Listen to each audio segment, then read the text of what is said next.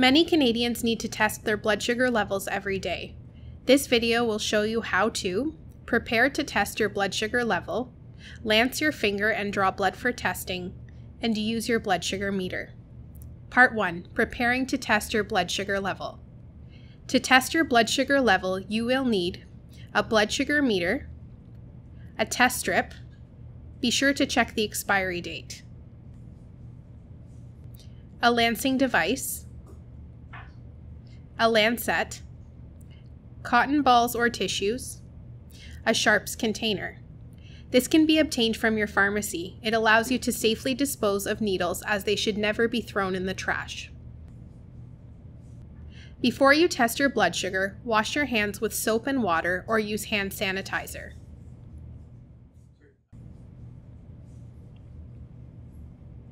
Prepare the lancing device.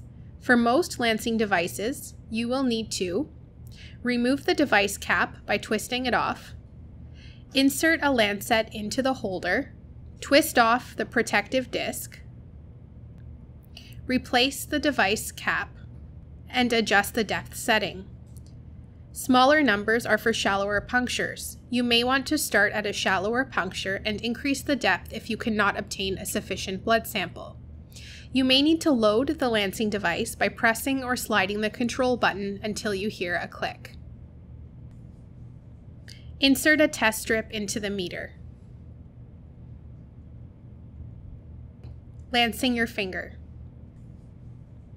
Choose a spot to lance your finger. Using the side of the fingertip may be less painful than the pads. Use the lancing device to lance your fingertip by holding it in place and pressing the release button. You may want to stabilize your hand by placing it on a flat surface. Gently massage your finger in the direction of your fingertip until a round drop of blood appears. If the blood smears or runs, do not use the sample. Instead, dry the area and gently squeeze for another drop of blood. Touch and hold the test strip opening to the blood drop until it has absorbed enough blood to begin the test.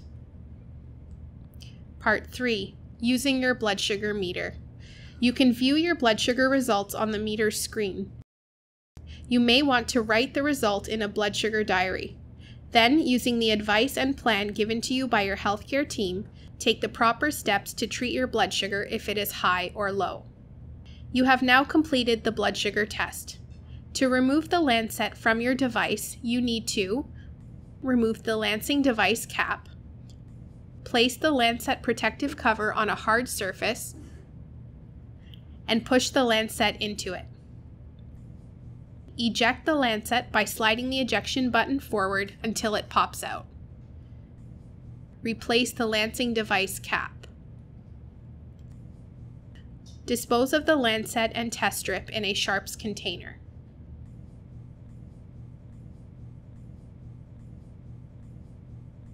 This video has shown you how to prepare to test your blood sugar level, lance your finger and draw blood for testing, and use your blood sugar meter. If you have any questions on how to test your blood sugar, talk to your healthcare provider, go to the company website, or refer to the instruction manual for your blood sugar meter.